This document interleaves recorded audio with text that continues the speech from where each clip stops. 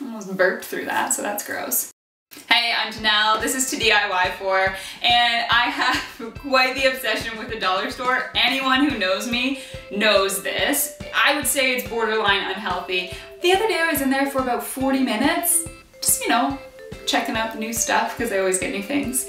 And I didn't walk away with a single item. I didn't buy anything, but I did come up with today's DIY idea. Now, I saw a few items and realized it clicked in my head that I could recreate this piece that I saw. It was either in a store, uh, something like Winners or HomeSense, or it was online. And it's really great what you can do with dollar store items, how you can turn it into something that looks so much more expensive than it actually is. So I'm gonna get into today's Cheap Thrills DIY. So from the dollar store, you can grab a glass container of any shape of your size, depending on your project that you're making, some air dry model clay, and then also the mirrored pieces um, that kind of would be used for a disco ball. So the clay, we're going to cover our glass dish with a bit of this clay. Not too thick, not too thin, basically enough so you can press in the mirrored pieces kind of to make a mosaic here. Um, not going to lie, this is going to take a very long time. Uh, as you can see, it's tedious work, but uh, it looks beautiful when it's done. And keep in mind, because it does take so long, don't cover the entire thing with clay right away. Your clay will start to dry out. A little bit of water will help though to help smooth it out and kind of moisten the clay to make it easier to press those pieces in. But honestly, you're gonna wanna watch a whole movie while you do something like this, depending on how big your piece is.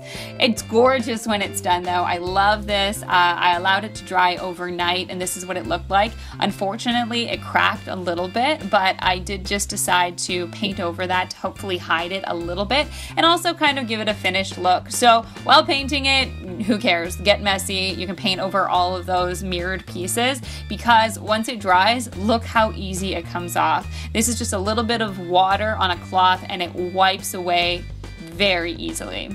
So this is what it looked like when I was all finished. And like I said, depending on what you're using yours for, uh, it'll depend on your next steps. I decided to make mine into a little cactus garden. Uh, I picked up a few guys and some of this glitter gravel. I'm using it later, but I'm also using it in the base here with some larger hunks of gravel to help the soil drain better. That's important with cactuses. So fill it up with a bit of soil. Make sure you've got some gardening gloves that have some plastic coating on them because man, cactuses are prickly.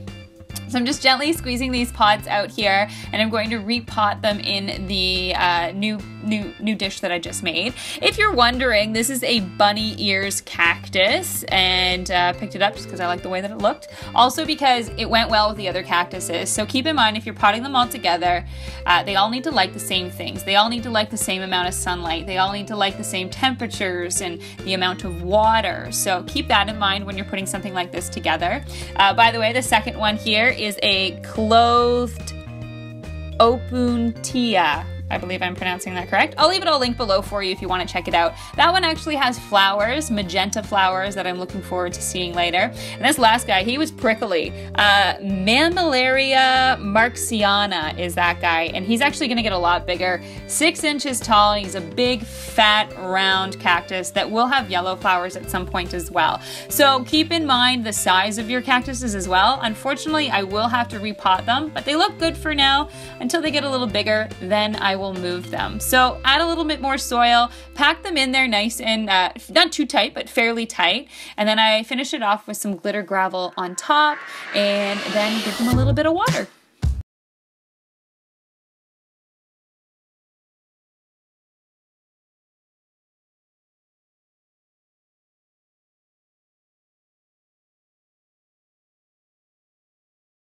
My Cheap Thrills series. You can do so much with dollar store items and make them look a lot more expensive, which is kind of what I think I did. What do you think? Uh, if you enjoyed the DIY, give the video a like and uh, there's lots of other Cheap Thrills DIYs that I have done. I will leave those linked down below. If you're into the, the cheap decor ideas, please let me know. I'll keep those videos coming for you.